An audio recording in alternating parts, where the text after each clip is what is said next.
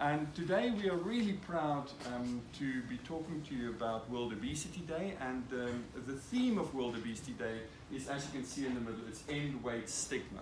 And the reason why this is important is that for a very long time, uh, we as doctors have not understood that obesity is a disease and that it is a disease that needs to be treated like any other chronic disease. Um, and very importantly, lots of patients who suffer with the disease of obesity did not understand themselves that it is a real disease, and therefore they didn't come to look for treatment or to ask for help. And to make this all worse, um, the lay public you know, do not understand that obesity is a disease. And therefore, many people are being ridiculed or called names or um, being discriminated against because they have this disease. Now, what we want to highlight with this meeting today is that understanding that it is a real disease allows us to actually seek treatments that can make things better.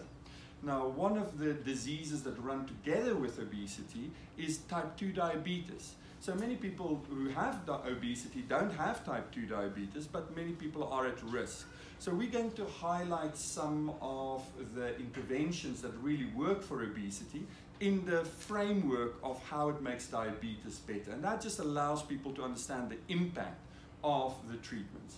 Um, the final thing I would say is that all of our treatments, and we're going to talk today about diet treatments, medication, as well as surgical treatments, none of these treatments make people thin or make people happy. Okay? But all of those treatments make people healthier and more functional. And that's really what we want to do. We want to, it's a health gain treatment rather than a weight loss treatment. And many of you would actually have stories to tell, etc.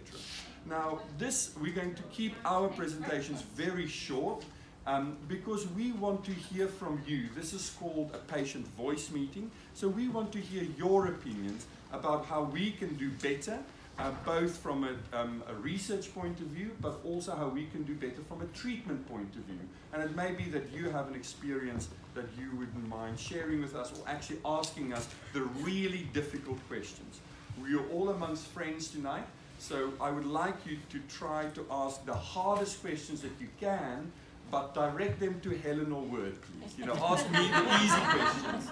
Um, no, but seriously, uh, we want you to ask the difficult questions because that's the only way we actually learn and we move forward.